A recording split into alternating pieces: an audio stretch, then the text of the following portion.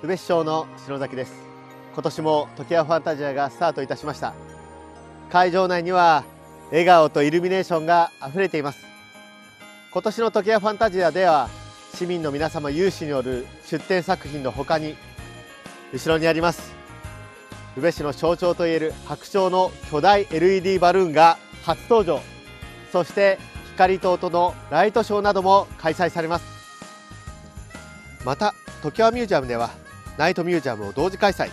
植物光映像音楽がミックスした幻想的な世界もお楽しみいただけます。こちらもぜひお楽しみください。